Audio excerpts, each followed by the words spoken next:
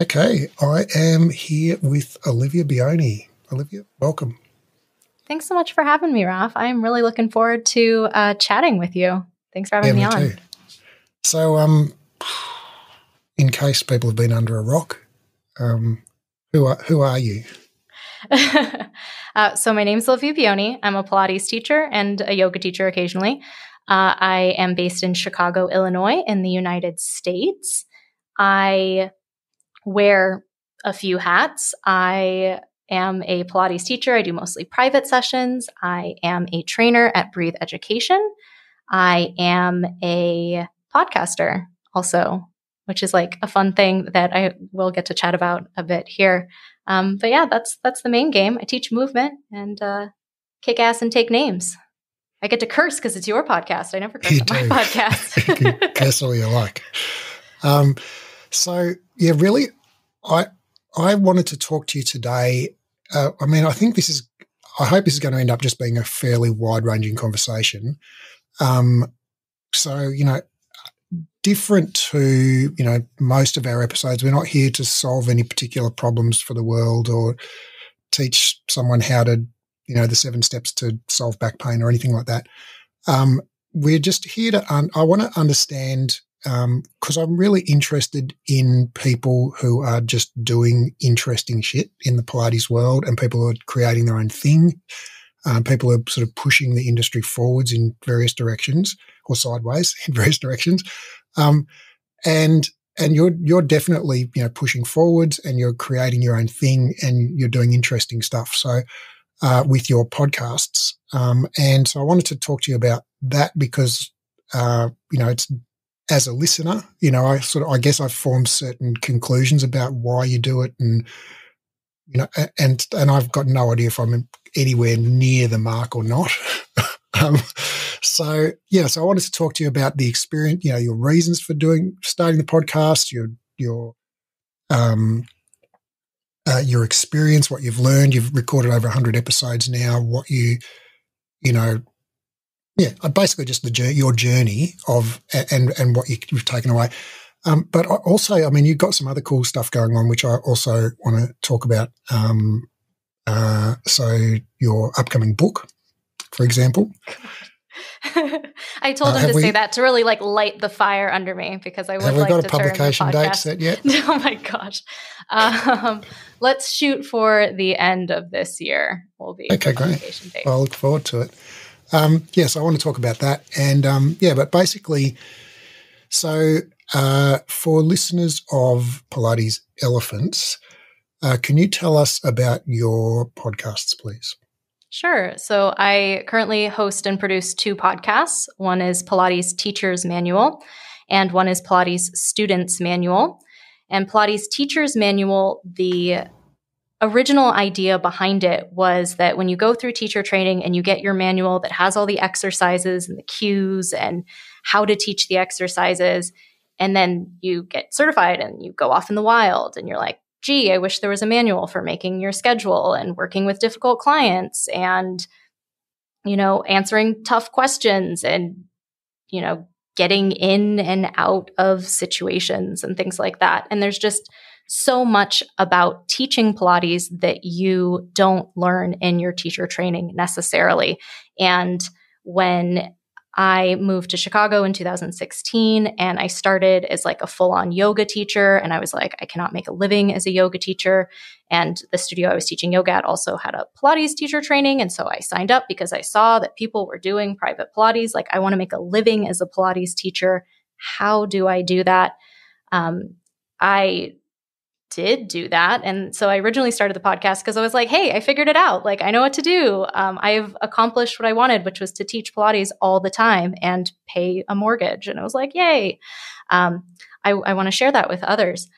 Um, and then what's kind of funny as I've, you know, done the podcast for uh, over two years now is that what I thought I wanted is not what I actually wanted. And uh, huh. just sort of using the podcast a little bit as almost a story time to talk through, you know, where I am and things. It's like a really weird time capsule now because it's like, hey, what is a Pilates teacher if it's the middle of the pandemic and they're not teaching Pilates? And so, um, because the podcast started in February of 2020 and then uh, we shut down a huh. month later. And I was so like, that oh. was, yeah, because we shut down in Australia in March, so that was just pre-pandemic. Oh yeah, yeah, yeah. I, I think we launched on like uh, Valentine's Day, and so I got to kind of experience that in real time. And I did start a second podcast, Pilates Students Manual, because I realized that my first audience was the people in my classes. And they were like, I love you and I want to hang out with you, but I'm also not a Pilates teacher. So your huh. podcast is weird. Um, so I decided because I was not working for like six months that, you know, I could also do a manual that was like everything that you wish you could have asked your Pilates teacher about, like how to do teaser. But all we did was that exercise for like three minutes, and then you just like go home and stew about teaser. That's what I did. And so I was like, hey, I would love to have tips and tricks and sort of share the theories behind what your Pilates teacher is doing so that you can go and do your workout and be like, this was great. But then if you wanted to learn a little bit more about the why and the how and, you know, what are the Pilates principles and, uh, you know, what if I'm a runner? Just kind of all those like what if situations um, that I could pull back the curtain a little bit for Pilates students as well. Hmm. So, um, yeah, one thing that I think uh, for our Australian listeners, when you talk about that, I mean, maybe it's obvious from what you said, but uh, something that eluded me for a while is uh, in the US, when you say Pilates students, you mean like class participants, people who yeah. pay money to take a Pilates class with you. In my mind, and I think probably most Australians, that translates to like an, a trainee instructor. Oh, um, well. So I thought, like, oh, you've got a podcast for people who are still doing their training and for people who have just graduated. It was um, it was really designed to be for, you know, the students who were in my classes who would ask like really great questions. And like I wish that I could tell everyone in that mm, class, mm, like, mm. hey, you know, this is um, you know, why your leg clicks in one leg circle or whatever. Um, yeah. You know, I want to share that. So I guess there's a lot of overlap, I would say, in listenership that there are a lot of people who listen to students who also listen to teachers. But the idea was like from a student perspective, if you had had in person private sessions and then there was a pandemic and then you had virtual private sessions and you want to do in person again, things your Pilates teacher might be thinking about when you're scheduling that or pricing changes or whatever. Um, so more of a I'm taking classes and I want to know why my Pilates teacher makes me do the 100 or something like that. Yeah. So, like the the motivation for you to start the, I guess both podcasts was really quite kind of. I'm going to butcher the pronunciation of this word, quick, quixotic or chaotic. Like, is it? anyway, like uh, quite selfless um, or altruistic um, is a word I can pronounce. Um, in that you basically you wanted to give, you know, to pay it forward to people, you know, things that you wished you knew when you graduated from your certification that you just had to figure out the hard way. Um, that you wanted to sort of share some of those hacks and shortcuts with other yeah. people who came after. Yeah, I felt that, um, especially, I mean, it became more apparent in uh, quarantine and when everything was shut down how necessit like how necessary connections are between um, other people. And I also kind of saw from teaching Pilates as well that it was a bit of a lonely profession that you could go into the studio. We, there was a joke in my studio that like you never see two Pilates teachers in the same room because if one person's They're teaching classes, person. yeah, well, if one person's teaching classes, like the other person's not there because the studio is full. Um, so kind of fostering a little bit of a mentorship moment, but just a community as well that was really, I wanted it to be very supportive, very encouraging, um, that, stu- that students, teachers, Pilates enthusiasts were really welcome to come and ask questions. And there wasn't any um, like I very rarely talk about choreography on the podcast because it's like everything except for the exercises. Because I don't care if you cue the hundred with tiny little arm beats or with gigantic arm beats. Um, I care that you've created a schedule that you can like eat dinner during dinner time. That would be ideal. I'm definitely a gigantic arm beats guy, but you know, I think live and let live. Right. But eh, there's there are times and there are conversations that have happened that regardless of the, what the question was because the person's like well you don't teach it like me so you don't teach pilates at all you're wrong uh, so i'm not even going to engage with you so it's like that's yeah. that's garbage yeah. let's not do that um, and so it was actually funny about the gigantic arm beats because um, I was playing around on the foam roller and doing arm beats, and gigantic arm beats are very difficult if you're lying on a foam roller. And I had a person who'd listened to the podcast. I had talked to her about different types of reformers and different pros and cons there. And she was like, you know, I didn't learn the arm beats that way. Can you tell me why you did it that way? And there wasn't an attack. And it was like a totally general, like, hey, this is how Joe did it in Return to Life. So that's what yeah. I was demonstrating in this exercise. And really opening a line of communication instead of people like tiptoeing around or feeling that you can't approach and ask questions or anything like that.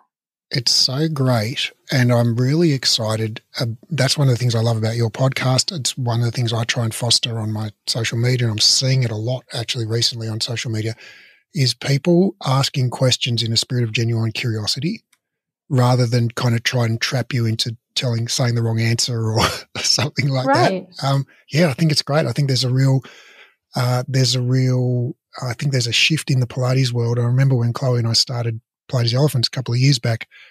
Uh, you know, there, there's, and maybe I've just, my bubble has changed or something, I don't know, but, you know, there seemed to me to be a lot more kind of technique shaming and, oh, you're classical, therefore that's bad, or you're contemporary, therefore that's bad.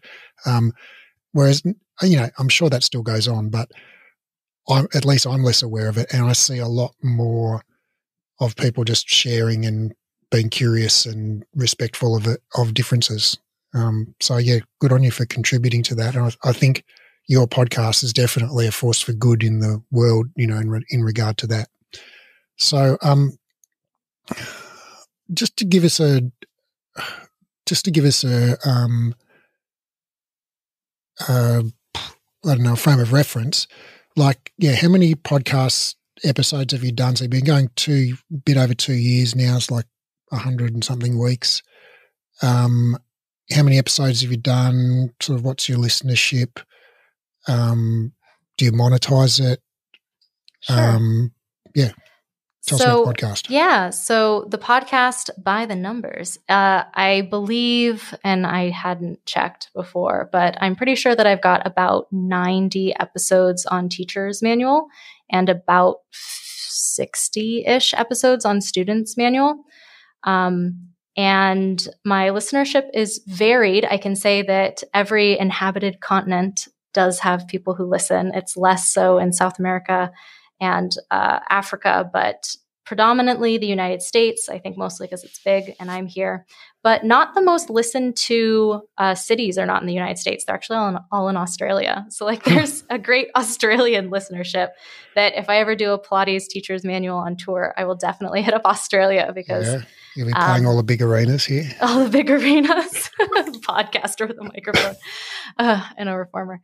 Um, and yeah, and some in Europe and a little bit in Asia. Um, I found that the listenership expanded a bit when I started offering transcripts of the episodes because then you can read the episode uh, in addition to listening to it. Because I know the languages that I have any familiarity with, I wouldn't be able to listen to 20 minutes of kind of technical talk about anything.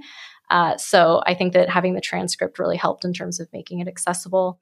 Um, I have, I did just check, I've broken 80,000 listens cumulatively on Teacher's Manual and over 50,000 on uh, Student's Manual. So that's really awesome, like from the beginning of time.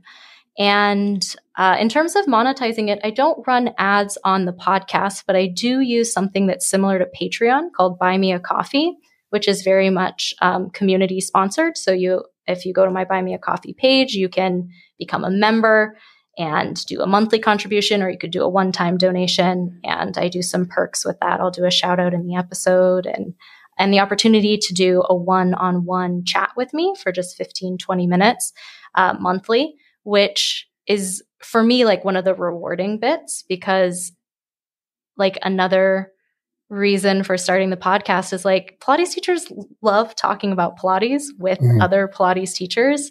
And So, getting to connect with teachers, usually who are in their teacher training or maybe just out of teacher training, who, if we can harken back to the time when that was us, it's like so stressful and so scary. And like testing out is like this huge mountain, like Mount Everest that you've got to climb.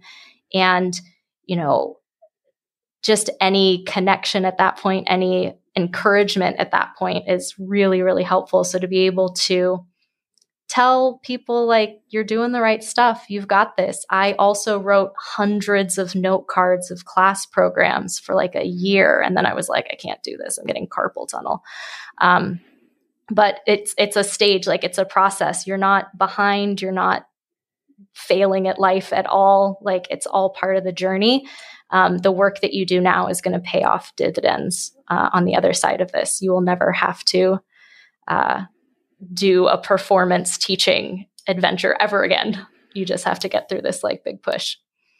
Yeah, I think that's so important that uh, normalizing people's experience because I, I think that's one of the key premises behind this podcast as well is that uh, a lot of instructors carry these questions and doubts around and you know are afraid to voice them because they think, oh no, I'm the only idiot that doesn't get this or I'm the only idiot that feels, you know, anxious about this. It's like, no, no, most most people feel anxious about that. That's Everyone. pretty normal.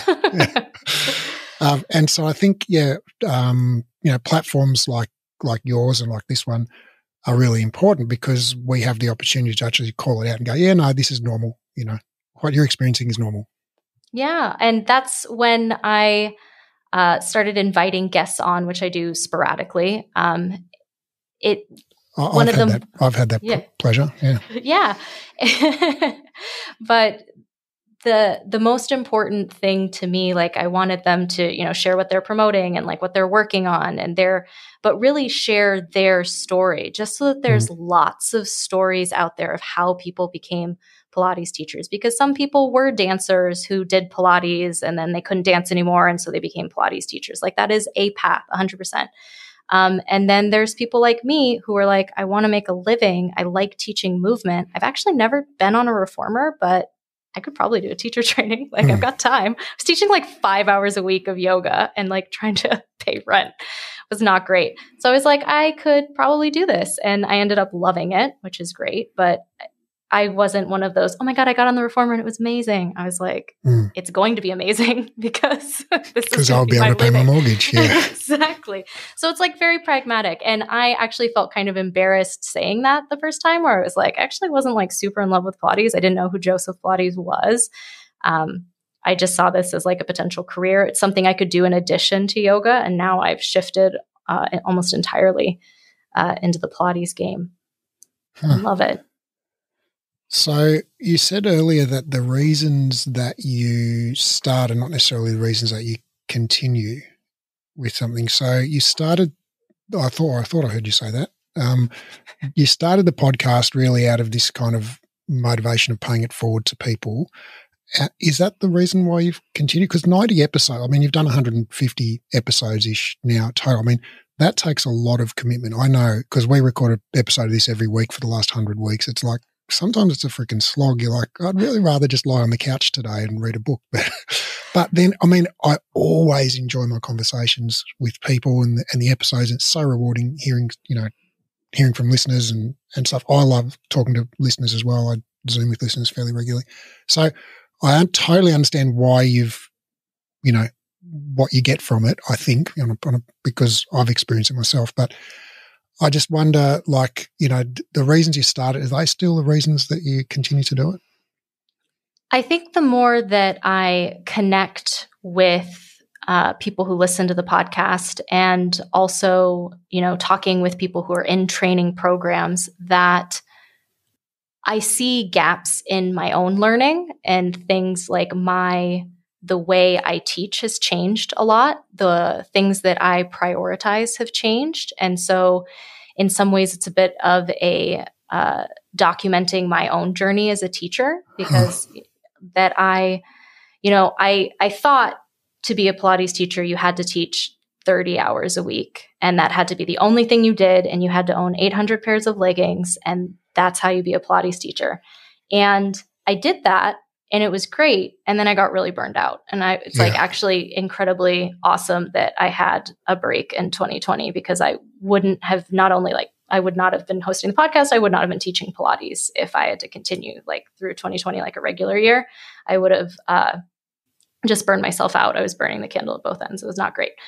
Um, so I realized also through these conversations with other teachers, hearing their stories, that there are lots of ways to be a Pilates teacher. There are lots of motivations for teaching Pilates, for doing Pilates. And so continuing to spotlight that so that no one feels like they're doing it wrong if they only teach a Saturday night Pilates class, like you are still a Pilates teacher. If they took three years to test out, amazing, you're still a Pilates teacher. If they um, teach Pilates for that 30 hours and are totally invigorated by that. Like you're an, you're a Pilates teacher, you're doing the thing, and good for you. Um, so I think that that's part of it. And also, you know, as I learn things, um, I think it's important that the same way when we work with clients and they're like, oh my gosh, I can never do teaser, I can never do teaser. And then they do teaser. And then it's like the next thing, they're like, oh my God, I can't do that other thing now. And so a bit of it is you know, reflecting on uh, what's changed, um, like how my relationship to Joseph Pilates' work has changed, how my relationship to uh, my clients have changed because, you know, I came out of the gate being very much I can teach anyone anything at any time of day or night, uh, all days of the week, like seven days a week. I'm here for you. And that spirit is definitely still there, but now I also go to bed and that's nice as well and like not commute home at nine at night. Um, so it's for me it's been a, a, practice of finding a balance in my teaching and then also in podcasting as well. Um, i am like a big routine person and so now the podcast is like in my workflow. And i know that you know it takes this long to plan an episode record an episode edit the episode. I'm still doing that, but like way less. I talked to you earlier and you were like, what are you doing? Like shortening silences, just like let them be, just tack your music on and go. And I was like, no, I have to like take out the ums, which I've gotten much better at. Um, so the editing is definitely shortened down. And then, you know, doing the transcription, the YouTube video, the uh, getting it on the podcasting site, like I know how long all of that takes and I know where that fits in my week. Um, I don't know. You had asked about it, and I was like, I don't. I just do it, Raf. Like it's on the to do list, and I just do mm-hmm. it. Mm-hmm. it's a thing. Um, why do I still do it? It's it's like also really fun. Uh, it's really the connection is really fun, and also like the accomplishment that you get. That you're like, you know, this is something that I made, that I've done, that I've contributed to this Pilates canon. Um, maybe I get a Wikipedia page that has a link. Mm. Like that would be awesome. Uh, That'll be cool. but Your own Wikipedia like page. Kind of yeah, that that made the Pilates world like a little happier and a little brighter, and made teachers feel like they were on the right track because they are.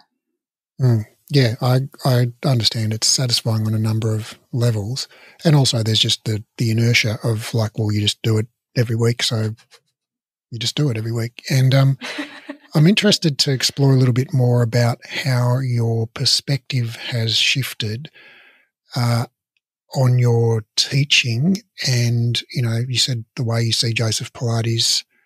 Um, and, you know, because it's an interesting kind of tri- way to triangulate things because you're kind of reflecting on your own journey at the same time as sharing that with other people at the same time as reflecting on other people's journeys.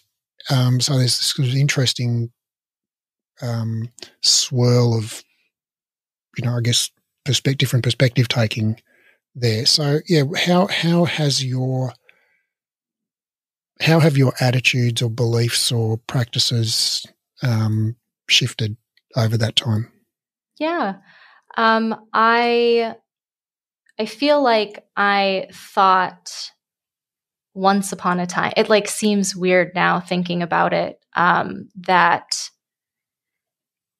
uh, I don't want to sound like dismissive, but I felt like Pilates was like a really big deal and like really huge. And like if you do anything wrong in a session, a person's going to be like paralyzed, which was like not mm-hmm. a well thought out thought, but mm-hmm. um, a lot of perfectionism, a lot of uh, pushing myself in ways that were not healthy in terms of like upholding boundaries with clients, in terms of like them contacting you when you're not teaching or like over non emergency things. And I had this like idea that like I had to be a perfect teacher and that like being a perfect teacher was like one flavor.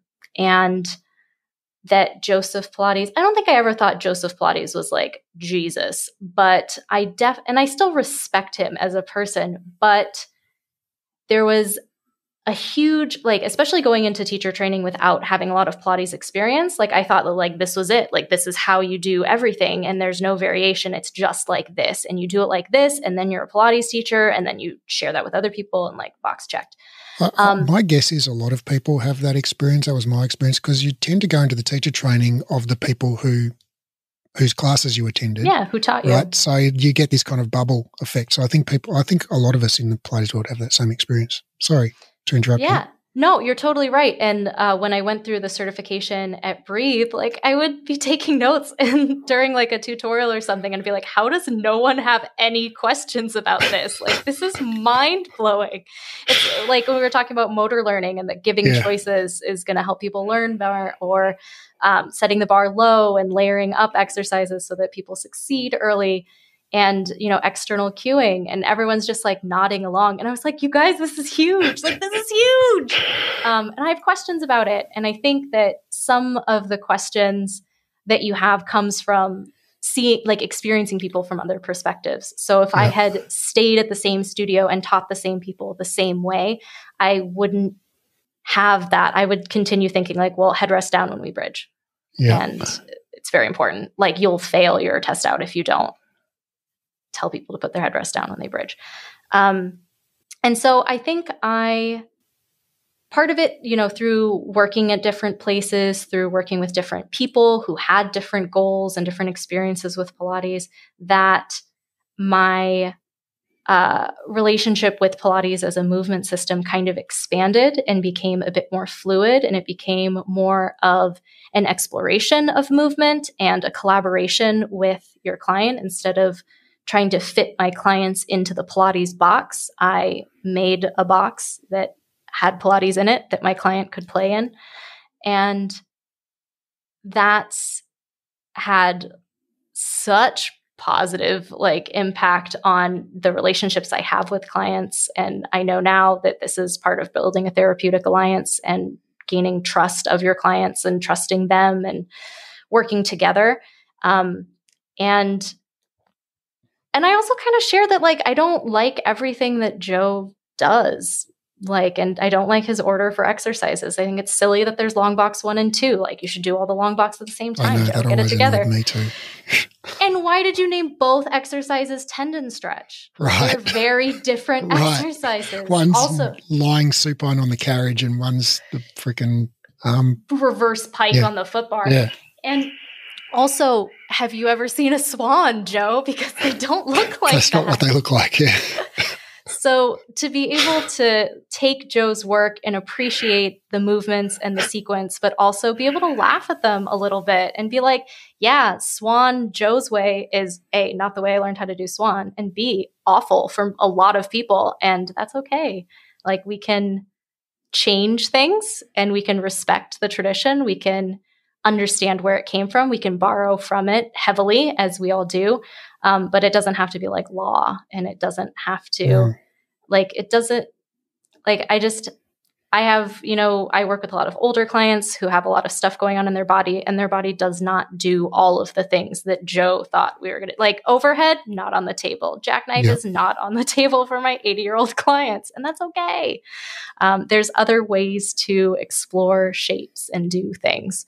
And I think becoming more comfortable with that, becoming more confident myself as an instructor and not feeling the need to uh, justify myself constantly to myself, to my clients. Um, or things like I've I've talked about on the podcast, um, like finding silence when you're teaching, giving your clients space to move without micromanaging them is has been a huge change for me. That I thought it to be a Pilates teacher, you have to talk all the time, and you don't. you can just hang out, and you see so much more when you're not talking constantly and when you're not doing the exercise for them uh, mentally when they get to figure it out and really learn the movement for themselves.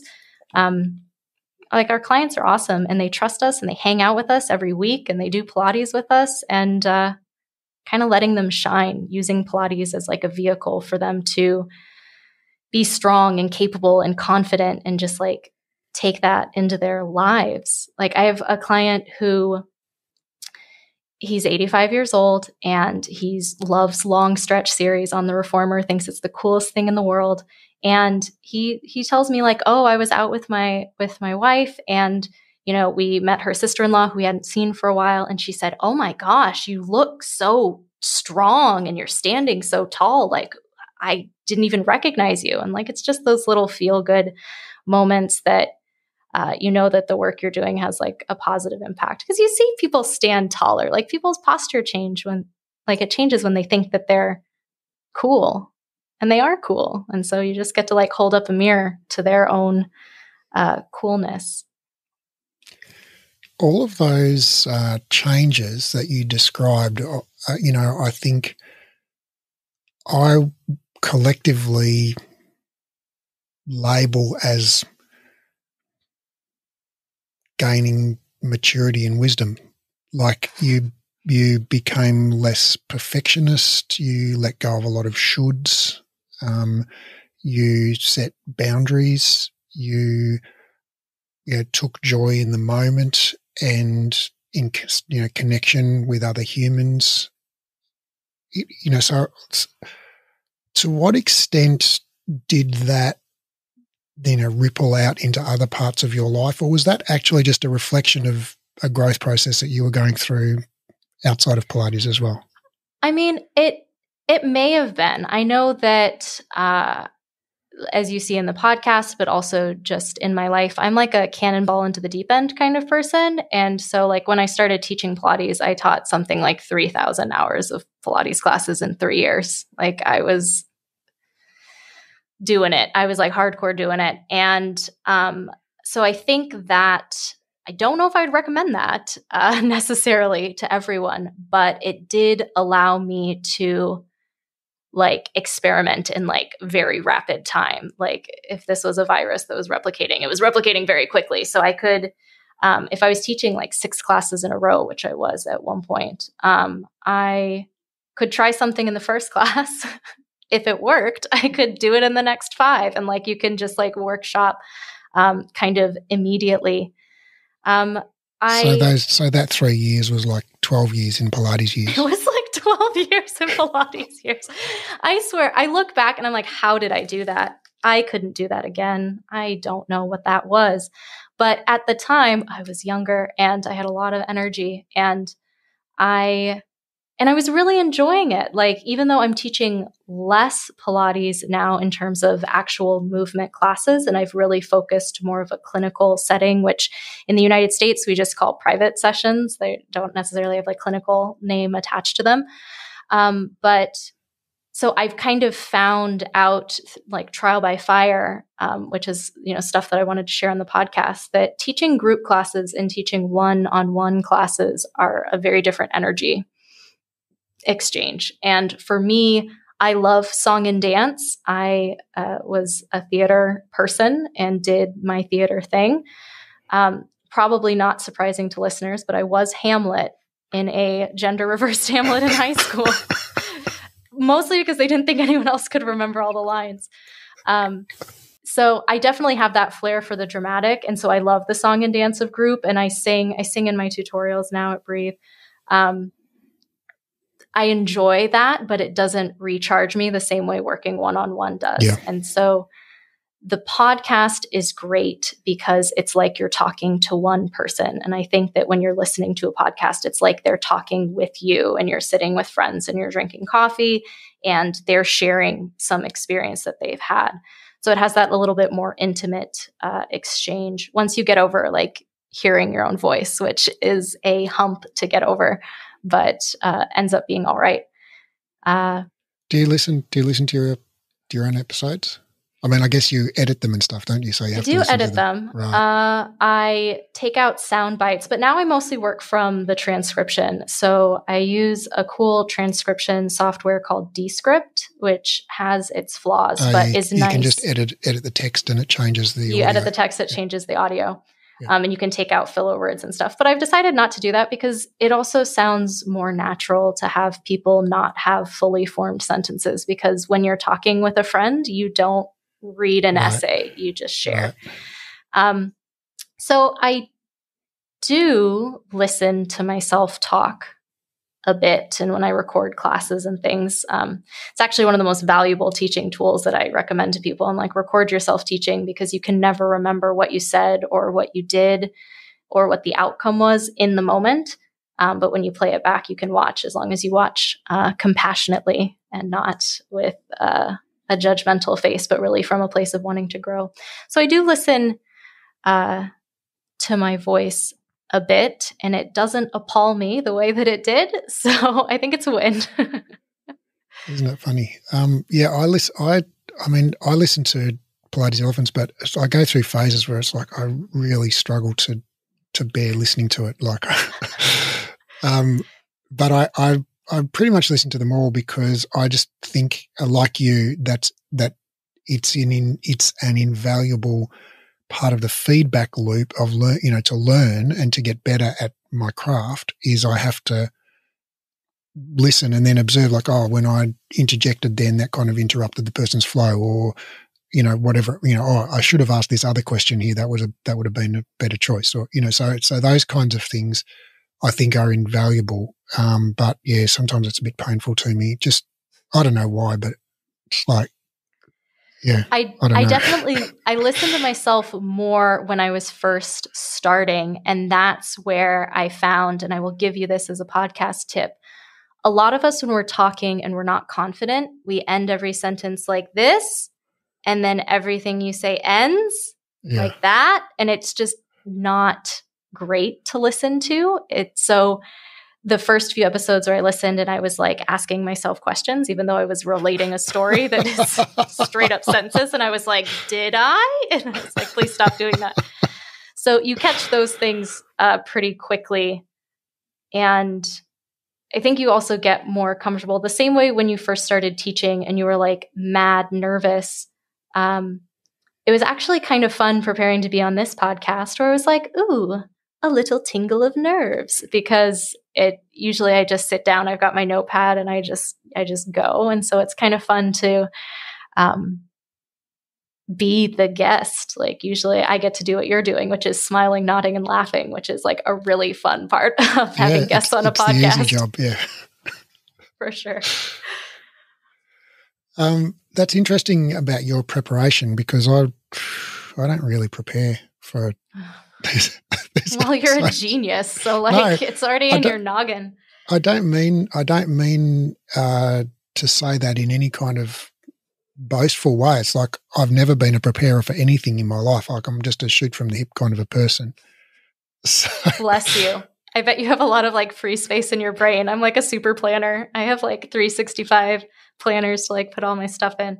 Um, I've planned less. I used to write out a script and then paraphrase the script when I was recording the episode, but now it's more bullet points and I trust myself enough to be able to elaborate on a given topic.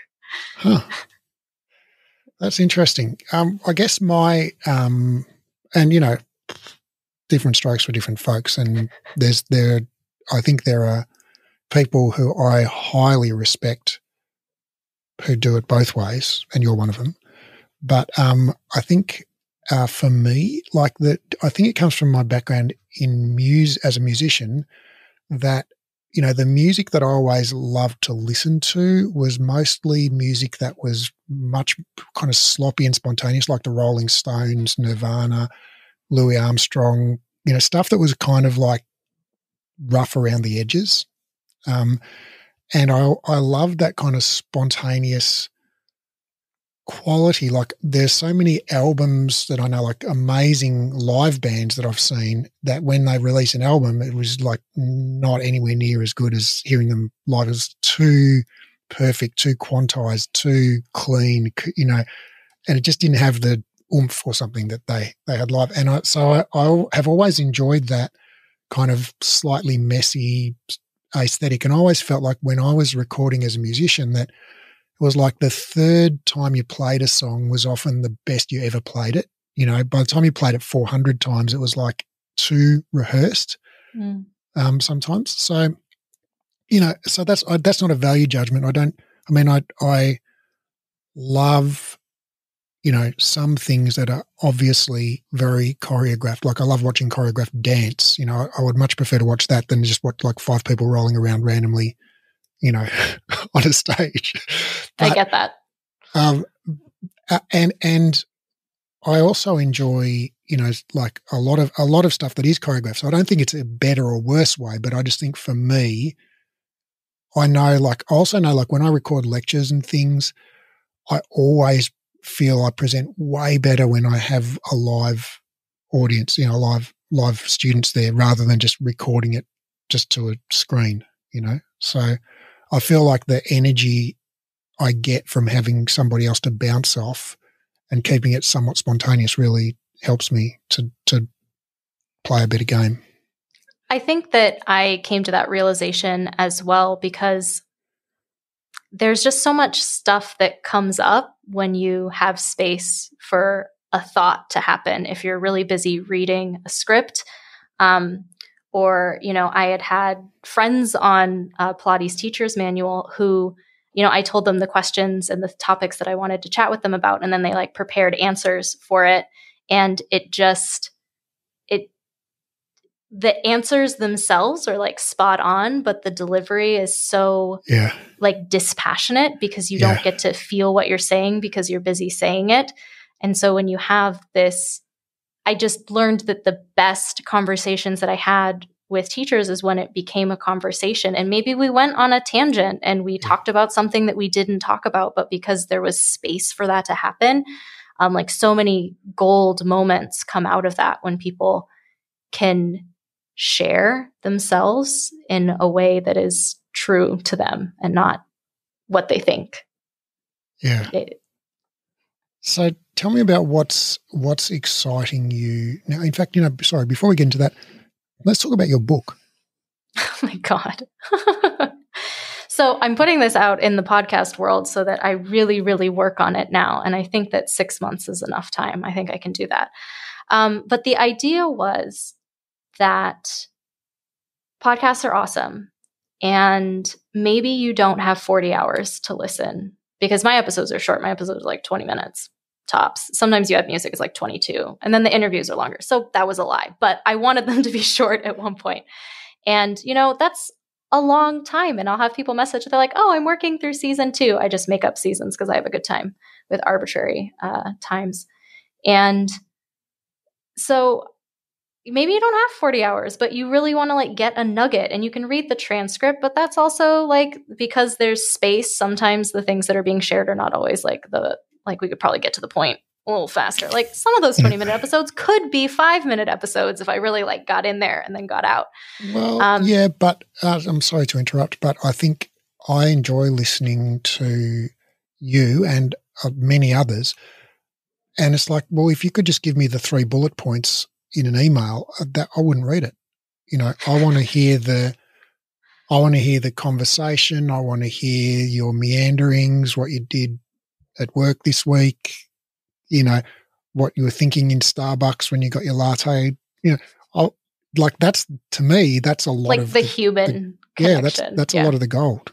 I don't want the three bullet points. Don't don't shorten them to five minutes, please. Okay, I won't shorten them to five minutes. Um, but I would love to take all of the topics because now that I have all of these episodes that are covering like a vast range of things, if I could organize them in a way that you still got a little bit of meandering and still some personality, but you had it in a more organized form instead of having to go, oh, I think there was something about that like season three, and then there was another one in season five. That if it was all a little bit more organized, the the goal would that Pilates teacher's manual would actually be like a legit manual. That it's like here, happy teacher training, and also happy beyond your teacher training. You know what? Um, uh, can I give you a little bit of unsolicited advice? I love unsolicited advice. Well, speaking as someone who's done it, I reckon you could write that book in two weeks. Oh my God, Raph, stop giving me deadlines. no, I, I, well, sit down honestly, and do it. I no, no, no, not. Uh, yes, sit down and do it, but I think there's an easy way to do it. I think you've already done three quarters of the work. So you've got all of these episodes, many of which have transcripts, and presumably the ones that don't have transcripts, it's very easy to get transcripts. You can just upload them to rev.com or whatever, get a transcript. If you were to then just like, like literally get all the episodes, right, and just list them in a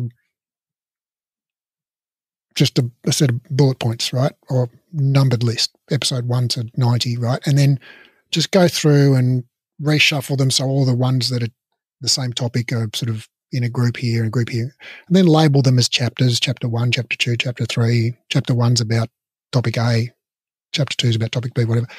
And then, you know, delete out the ones because presumably you're not going to include all 90 episodes in there, right? So you just go, okay, yeah, delete that, delete that, delete that. And you're left with whatever number, you know. Um, and then uh, just take your script for that episode or the transcript for that episode go through and edit it with an axe, you know, like cut out, cut out the, the, you know, 90% of the fluff. Um, and then just literally take what you've got there and read it into rev.com app. That's what I used to write my book. And just, I, I just read it, right? I, I, I spoke it into the app. I didn't type it and because you can speak like four times the speed that you can type. Um, and you've already got all the content there. Like it's it's not like you'd have to make shit up. It's like it's, no, you've already got there. it, right? You've just got to org- sort it, right? And then literally read it into the app. The transcript comes back four hours later. You go through it, take out some of the ums and ahs, and because no one wants to read your ums and ahs. Um, no. Um, and and and you know, add a few bits where you think like, oh yeah, I should have said this, or should you know, like it, when you read it, sometimes you get new perspective on it. Let it sit for a week, go back, look at it, edit it again, bam, send it off to the proofreader. Job's done. Okay. To be fair, that is very much what I was going to do because I do have transcripts. I have them for, I went back, uh, the ones that didn't have transcripts, I've gone back and transcripted them. So I have transcripts for everything. Um, and that is the plan. It just hasn't happened. So yes. And I hadn't heard about rev.com. So I'll definitely check that out because uh, that's well, you know, super cool.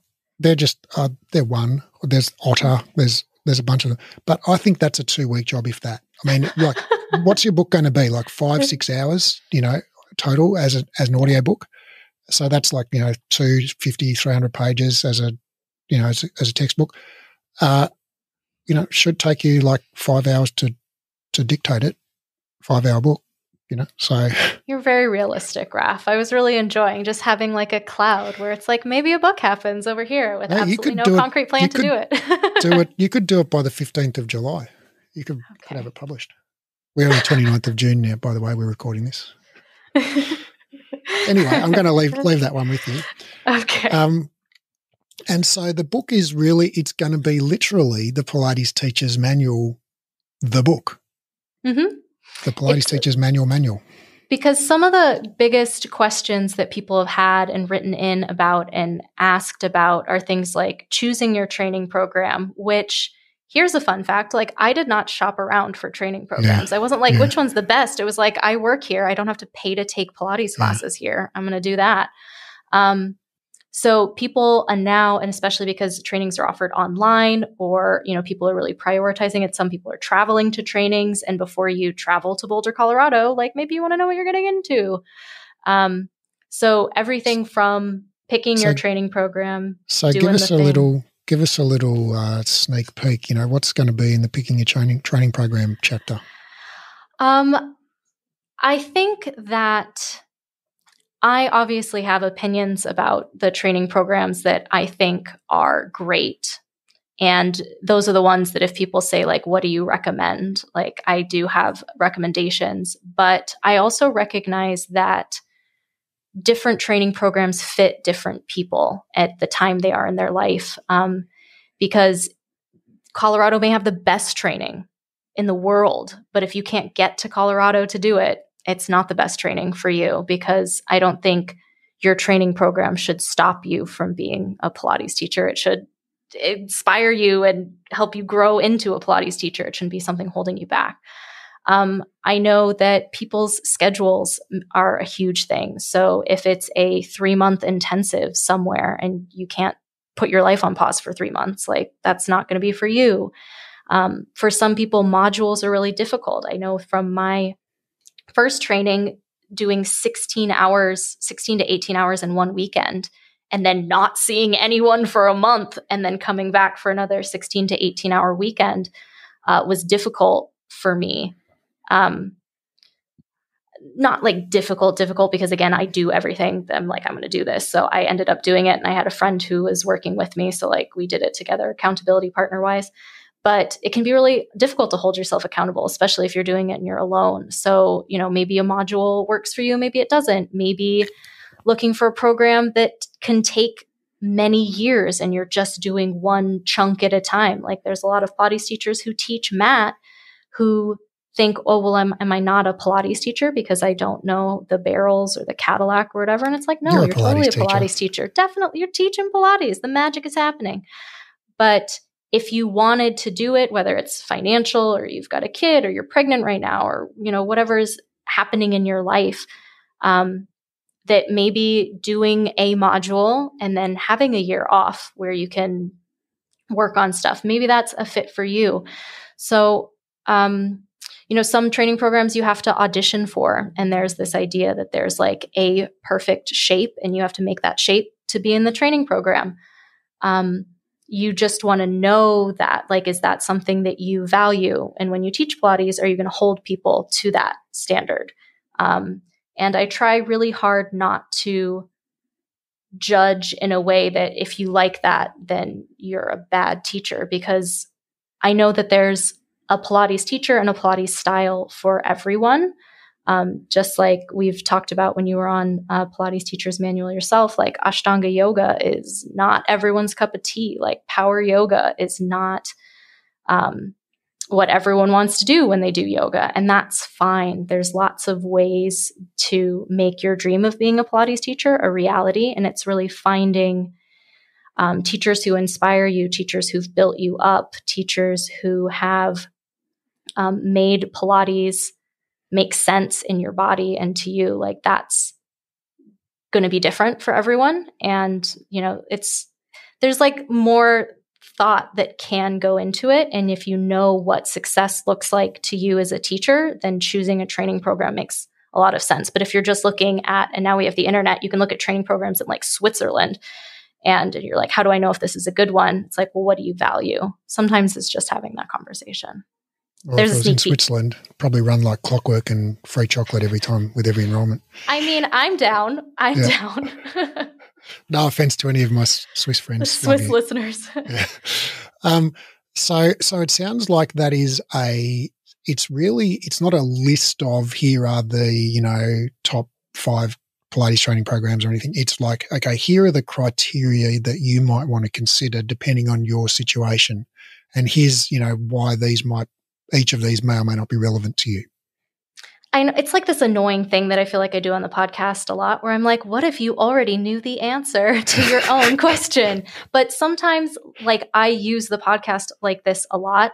Um, but sometimes you just need a person who is listening to your fears and worries and concerns mm-hmm. and thoughts and just like reflecting them back to you and just saying like hey like you've already shared like what's important to you like let's look for things that that match those criteria and then you're set like you've already done the work that's um, that classic when uh, your friend says to you oh, I don't know what to do about this thing. I really want to do it, and I, you know, I love it, and it's so important to me. But yeah, I'm just not sure what to do. You know, what do you think I should do?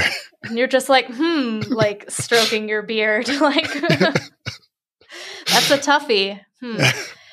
but it, but it's totally true, and I think we all um, need that. It's the same way, like my partner will tell me, like you should do this thing, like you, like he's actually the person who encouraged me to like do my yoga teacher training um, where i like went off to india for a bit and did my yoga teacher training and then was like my biggest supporter in pilates teacher training like so much of a supporter that they volunteered to be my practice body despite having zero interest in pilates and um, thinking that it was weird that i had like a teacher voice you know like you teach and you're like yeah suddenly like commanding the space. He's like, "What are you doing? This is strange." But you need 125 teaching hours, and I got you. So, um, but he'll tell me to do something, and I'll be like, "I don't know, man." And then like my friend will tell me the same thing. I was like, "Oh my gosh, that's it. That's exactly what I need." You, sometimes you just need an outside person to uh, to, then, to, say the did same you thing. That, did you do that classic, which I've done many times? Uh, I'll go back to your partner and go, "Oh." My friend just suggested yeah, I do this thing. told you know? I had never thought of it that way. And he's like smashing his head into a wall. Um, but but it's like that. Sometimes like it happens a lot with parents. I look back at, you know, how I've behaved to my parents when I was a teenager and I was like, yikes. Um, they really gave me a lot of great advice that I'm just now starting to like make sense of.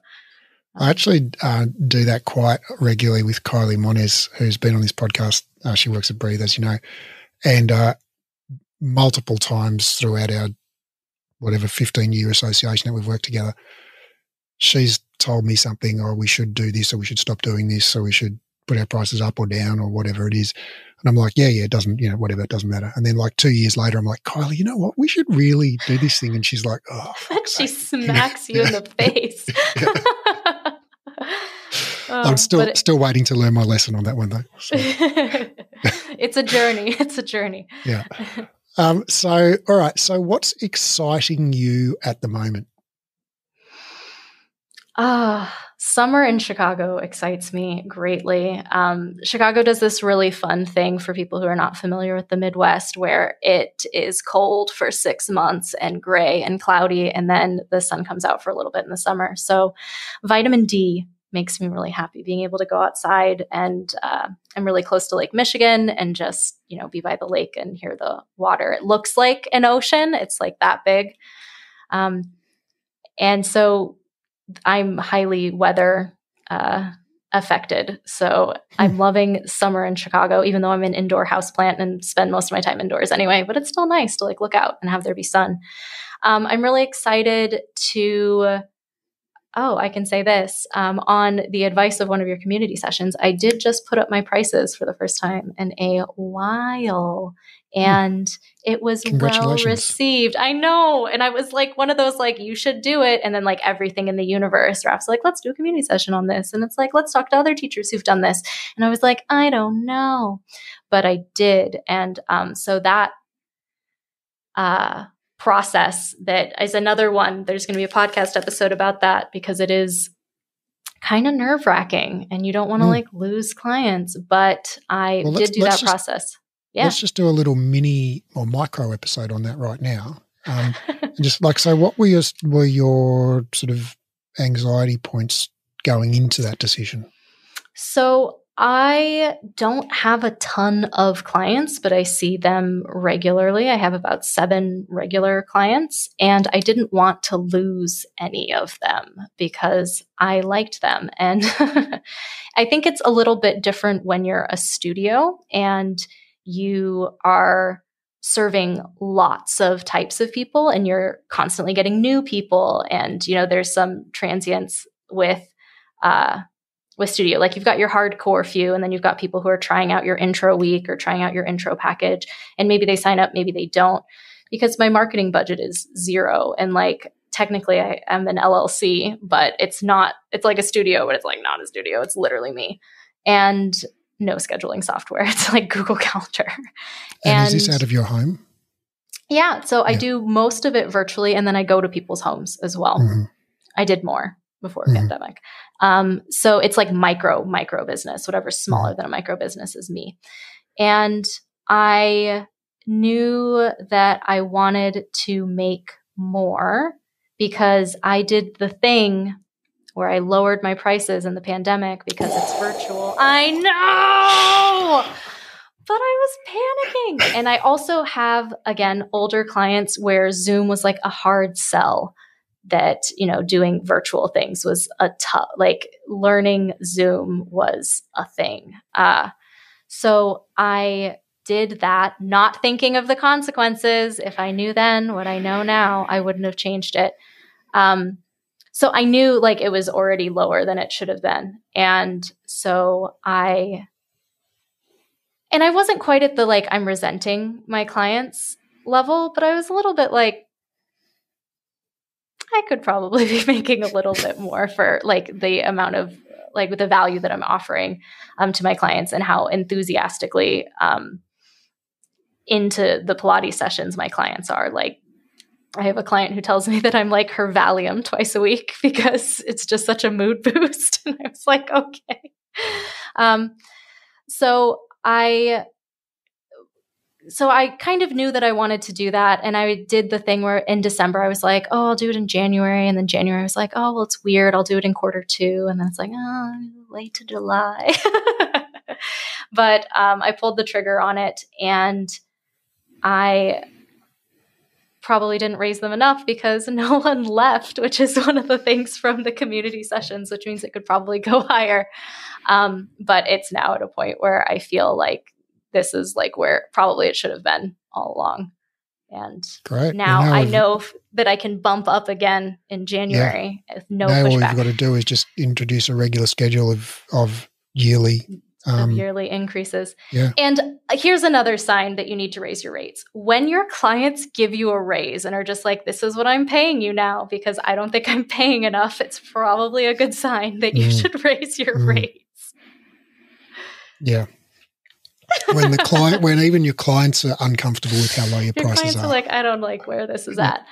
Um, so, I, so that was really exciting because that was something that I was really nervous about. Um, but and then i also look at like who my clients are and i'm not pricing them out in any way like they were spending more at the studio before they met me and now they see me and they pay less but it's fine um, i'm in a good place and i will definitely increase uh, on a on a schedule so that that feels good so that's making me excited because the anxiety part of it is gone um, I'm going to be teaching a master class for Breathe that I am so hyped about, Raph. It's going to be OG repertoire on the mat, but with a foam roller.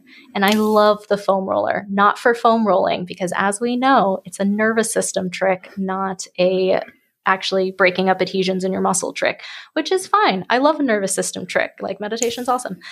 And I have been just having a really good time exploring the repertoire with this like laser focus of a foam roller like how can i make this exercise more supportive more accessible using the foam roller like a bolster or block how can i make this exercise crazy. Have you ever done jackknife with a foam roller between your feet?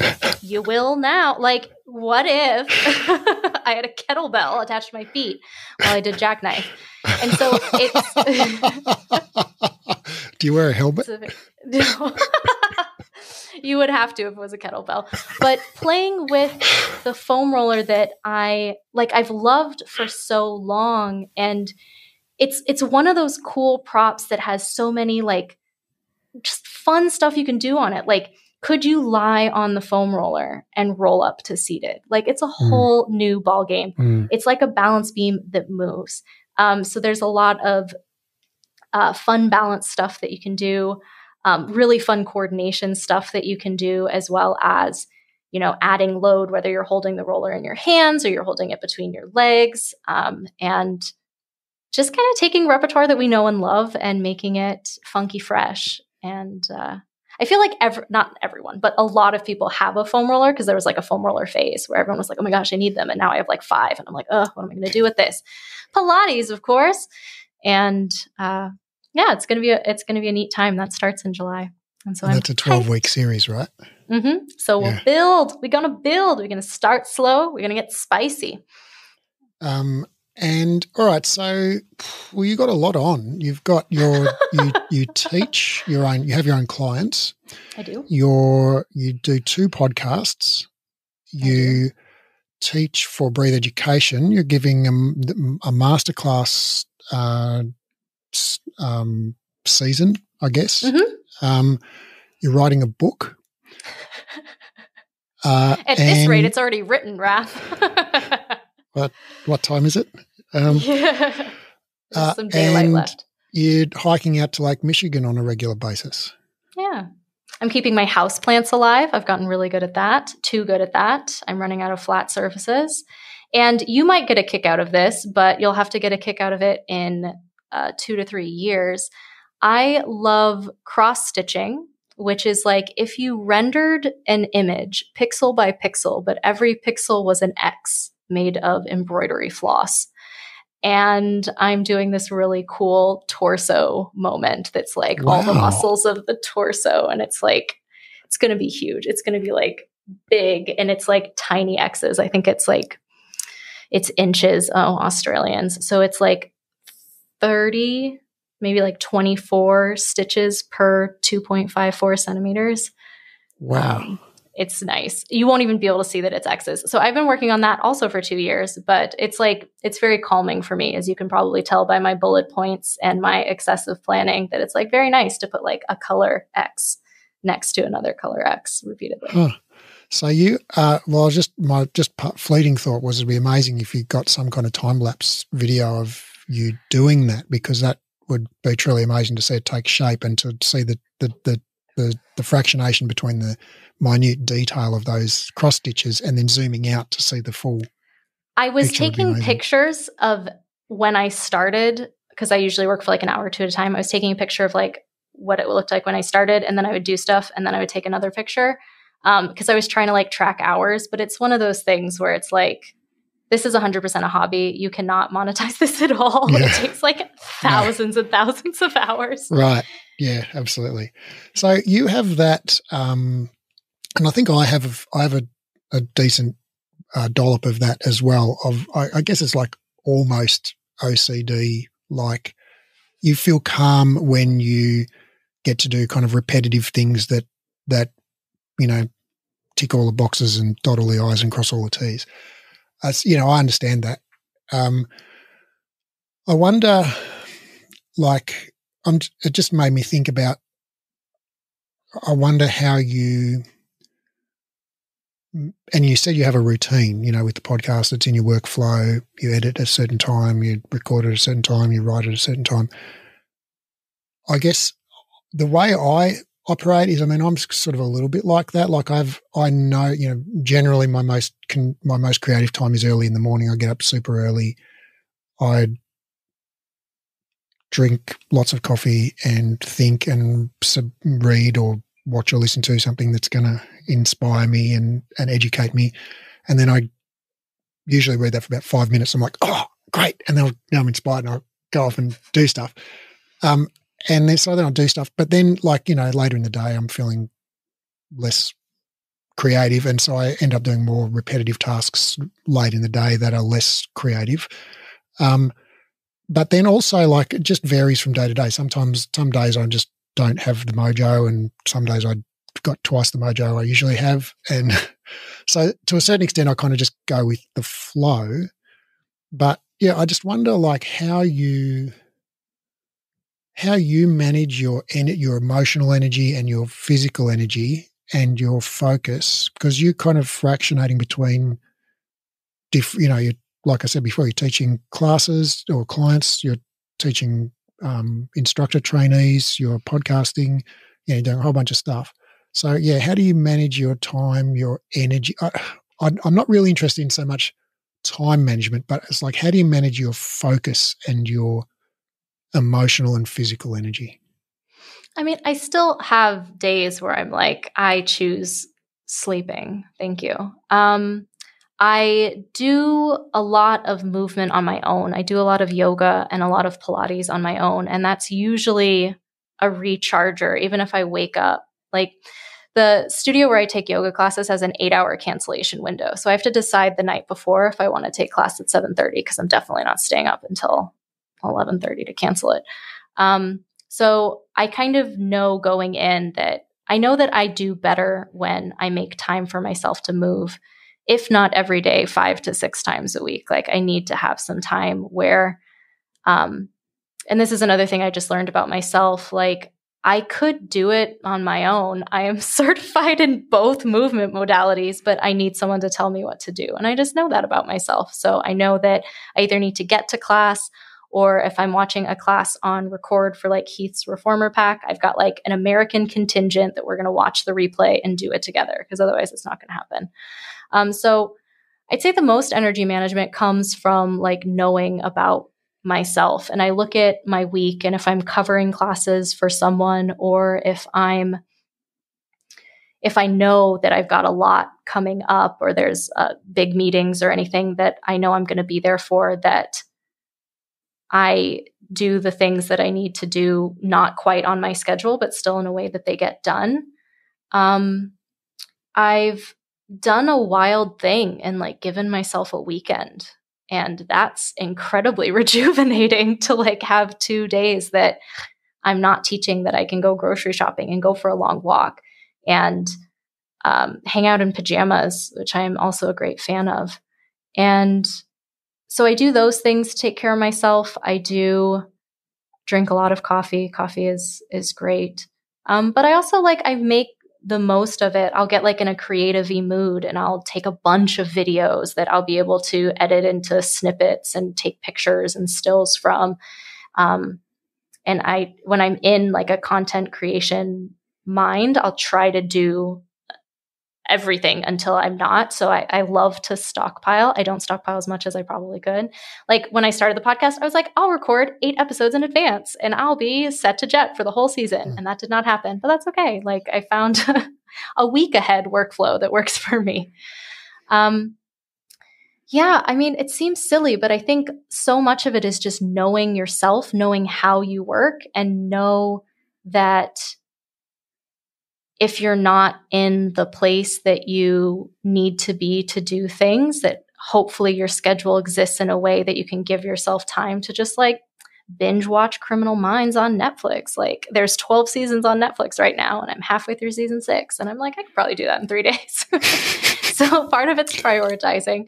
Um, but like just like finding a balance. Like if what you're doing is making you feel so drained that you can't enjoy doing it, then like maybe don't do as much, which I swear to you, three years ago, I would have punched myself in the face for saying that. And I would have been like, no, you have to do everything. But it's like I've taken weeks off of the podcast and I do try to take little hiatuses um, every few months or so. And I just give myself a month and I don't think about the podcast at all. I just like, um, I just get to relax and do things that are not the podcast. Mm. It's, I mean, I don't think I've got it perfect. I think that there's still times where I'm like, ooh, I don't know. Um, but yeah, I've, I've just found a pattern of engagement in the things that I like doing. Like some people might hear like caring for houseplants and cross stitching be like, that sounds tedious and terrible. So like, obviously those aren't your recharging activities, you know? Um, it's like finding what, uh, what fits for you and then maximizing on. I feel like life is just like a case study in yourself and just finding out what works. Yeah, I'm, I'm, with you. Um, I think the the two things that you said that really resonated with me there were one, uh, just knowing yourself, and by which I'm I understand you mean like I know for myself that one of the things that makes the biggest difference to my quality of life and thinking is just not having to rush. So the difference between scheduling meetings back to back versus scheduling meetings with half hour in between is like night and day for me, you know. Um, so, you know, so things like that, I think just I've learned through trial and error is like, yeah, I can do meetings back to back, but it's like, you're not, after the second meeting, you're not going to get my best self. Um, mm.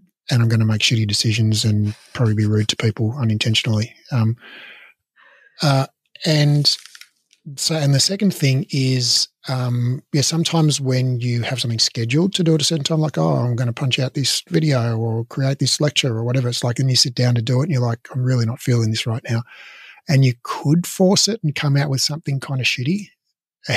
but it's actually, yeah, I've, I've learned over the years, it's just better, it's better to go away and watch a bit of Netflix or go for a run or whatever. And, and then usually within 24 hours, I'll just be walking around the house going, and I'll be like, oh, I know exactly what to write for that thing now. And bam, it'll come out in five minutes. No, that's that's so true. And that is exactly exactly what can happen. And I have also found in my constant combating of my own perfectionism that not necessarily to like push through and do shitty things because you feel like you have to do them, but giving yourself the space that doing something is something, you know? So if it's something that I, uh, I'm trying to think like there's not really anything that I do that I hate that I like drag myself to do. But if I just wasn't in the mood for it, um, especially if it's something that doesn't really matter, like social media doesn't really matter, um, just giving it a go and the the last thing I want to say about the podcast as well is something that my partner told me and is probably a quote from someone else, but that there's great value in stating the obvious. And the things that were obvious to teachers who've been teaching for 10 years were not obvious to me um, when I was starting teaching. And even though, like, I just did an episode about the difference between being an employee and an independent contractor, especially how that relates to taxes, which are going to be different in every country and different in every state. But like I didn't think about it until I had to think about it. And even if 90% of people are like, I already knew that you have to set aside money for taxes when it doesn't get taken out of your paycheck because you're working as an independent contractor. If 10% of people didn't know and that saved them a nightmare in like late penalties, I think that that it's worth sharing. So yeah, I think that's. I mean, that's. I, I haven't heard that quote, but it totally rings true. i I think of it as uh, the curse of knowledge, and I didn't make that up. But it's basically when you know something well, it's almost impossible to imagine what it's like to not know it. And so you just think, well, of course, everybody knows to put aside mm. money. You know, it's like, why wouldn't you know that? You know, it's crazy. But it's like, yeah, a lot of people don't know it. Why not? Because no one's mentioned it to them. why would they know it? There's this, I don't, this is going to be very vague, but there's something in ancient Egypt in like the Mesopotamia, Indus River Valley, some ancient civilization. And there's this like very well documented city and like trading port that had all of these great items and they were like huge in terms of trade and there's so many references to them and like note keeping and things and we know everything about this civilization or this town or this port except for where it is because no one wrote it down because how could you not know where it is Everyone so it's just like is, yeah. it's just buried somewhere yeah. uh, and we don't know where it is because everyone figured that it's you know where it is so I think that in like a very small scale, that can be the podcast. Yeah, well, I think there's there's definitely something in that, and I think uh, you know I think a lot of comedians essentially you know build their whole career on doing this is stating the obvious, the things that we're all kind of think but you know don't mention because it's kind of taboo, or the the little private experiences that we all have but don't share with people, um, or just the kind of the weird questions that we might have that we think like this doesn't really make sense to me, but we think, oh, maybe I'm just stupid. Everyone else gets it. But just keep going. But, but, yeah, so a lot of comedians make a, a, whole career out of out of that, and I think I've really tried. I'm not a comedian, but I've really tried to do that with uh, Pilates elephants. I think it's very difficult to to to find what's hiding in plain sight and to to see those uh, to to be able to again see those obvious things that you know when you're a beginner at something or if you're relatively new at something you know they seem like you ginormous big 10 foot tall letter of fire you know burning statues. But when you're really experienced you're like it, they become totally invisible because they just form part of your your base assumptions about how the world works. That it's like it's like going around saying hey everybody there's a sun in the sky or something. It's like, it's just Right. like, why would you bother saying it? You know, everybody knows it. I think a lot about the, especially in terms of teaching future teachers. I think a lot in the the quadrants of competence or the regions of competence that you don't know what you don't know, Yeah. and then you know what you don't know, and then if you work at it, you can do whatever thing. But there's like some conscious competence, but you have to really think about it, and then eventually, as a master or really great in your field, you get to this unconscious competence where it just happens and you it's difficult to work backward to a beginner who is not even on the radar of things that that they're learning that was not summed up well but No, I think I think it's I think it's very important, and the the I think it cuts both ways, which is like we said that okay, when you're expert at something, it's really difficult to put yourself back in that beginner's mindset and and see what the challenges and questions and, and things that don't make sense you know are for that beginner. But also as a beginner you know a lot of times beginners ask the wrong questions you know so they they they ask you know they want help with things that actually won't achieve the goal that they want to achieve mhm. so it's you know it does cut both ways, and sometimes the expert needs it's their job to, you know, uh, kindly, uh, you know, um, help the person understand that they're actually asking the wrong question. And you know, it's like I don't know if you if your car breaks down and you go to the mechanic and say, "Oh, can you fix this starter motor for me?" and the mechanic's like, "Well." That won't solve your problem because the starter motor is working fine. It's this other thing that's the problem. You know, Mm. it's like, well, you wouldn't want that person to just, you know, fix the starter motor for you. and be You like great job good luck How come my car still doesn't work? Well, you never told me you want it to work. right you just Um, told me to fix this thing right right. And I- so I think, you know, uh, a lot of times, like I think, I think in terms of uh, what, where I see this a lot is um, for people in, in, in business, people want to know like, oh, how do I get better at posting on social media? And often I, you know, I think like, well, how do you know that's going to solve the problem, your problem? Like, you know, what are you trying to achieve by posting more on social media? "Oh, I want to get more clients. Oh, so maybe the better answer, question would be like, how do I get more clients? Oh, why do you want to get more clients? Oh, well, I don't have enough money. Huh. Well, do you have any clients? Yeah, I've got like 20 clients. Oh, are you working as much as you want to work? Yes, I am. Oh, well, maybe you don't need even need more clients. Maybe what you need to do is put your prices up. You know, so so yeah. Often the question that people ask is not the best question, and if you just answer the question, often that doesn't solve the problem they want to solve. And I think in rehab uh, and anatomy, you know, I see it a lot as well. Like people come in often in anatomy training, what they want to know is like, oh, how do I target the XYZ muscle? And then the question is like, well, why would you want to do that? You know, and oh, well, I want to help the person have better posture. Or why do you want to do that? Oh, so they can get rid of their back pain. It's like, oh, so There the better question would be, yeah, how do we help this person get past their back pain?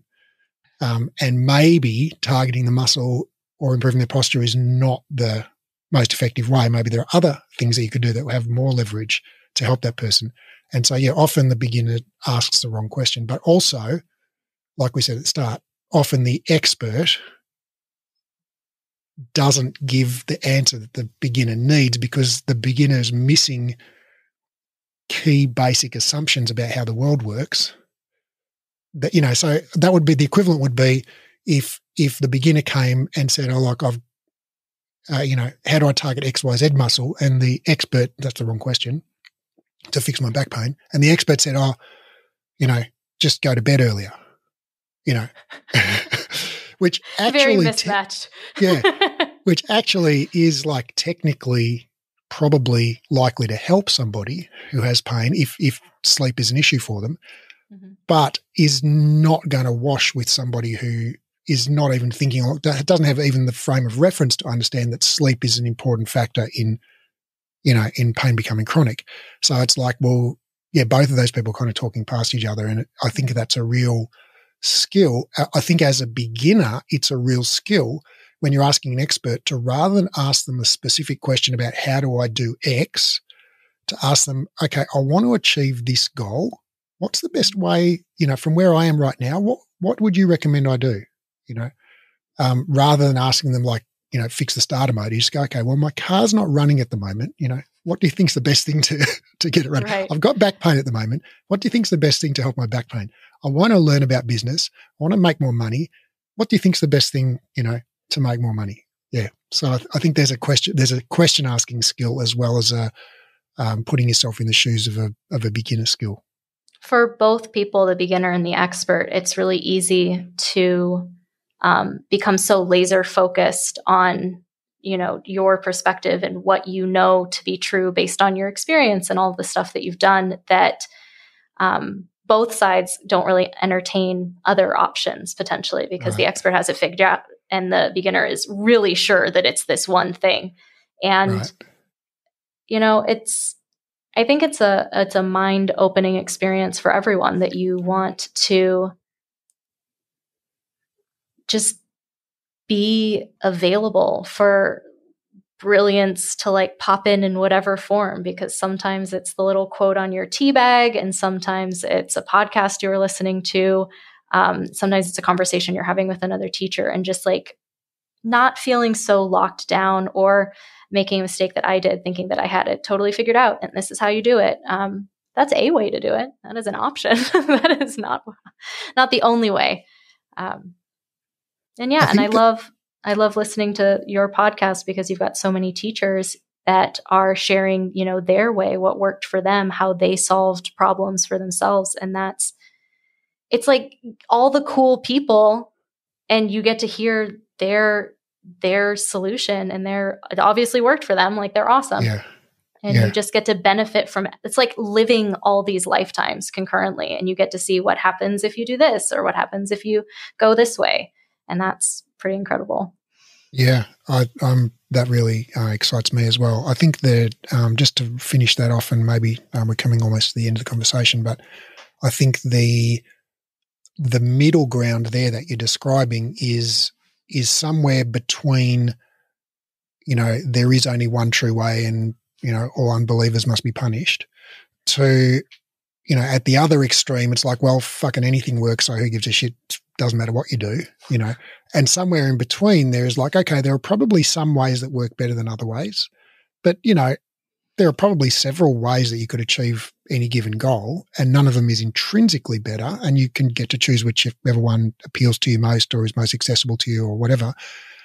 But I think the key thing is to pick a way and do it rather than hopping, you know, from one to the other or yeah, getting overwhelmed forever. and not starting um, yeah, to pick a way and and execute on it and follow through with it, uh, and and make adjustments as required, as you you know getting as based on what works and what doesn't. Adjustments um, as required is definitely yeah, the thing, and that's yeah. how I found transcripts, and that's how I started posting episodes on YouTube, and that's how I started running a Buy Me a Coffee page where I could connect with people. As I found what was exciting me about what I was doing. And the question became, well, how can I do more of that? And how can I uh, do less audio editing, which is not a great source of joy, and more hanging out with cool people and talking about cool stuff because that is exciting. And yeah, my solution is just don't edit the audio. that is a solution. it's cheap, cheaper as well. It's cheaper. Um, this has been uh, a lot of fun, Olivia, and I've learned some. Actually, I've learned some cool t- tricks. Um, what some of that stuff about uh, what you said at the start about transcripts. Um, we don't do that, so I'm gonna I'm gonna do that. It's pretty awesome. That's mm. pretty sweet. Thanks so much for coming on the Pilates Elephants podcast. Thanks for having me, Raph.